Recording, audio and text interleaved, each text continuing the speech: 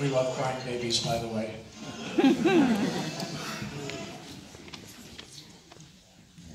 I had a couple myself. I got some stories to tell.